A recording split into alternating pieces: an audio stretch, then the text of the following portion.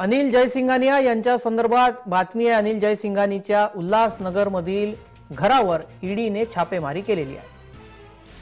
अमृता फडणवीस धमकी प्रकरणी जयसिंघानी आधीच अटकेत आहे.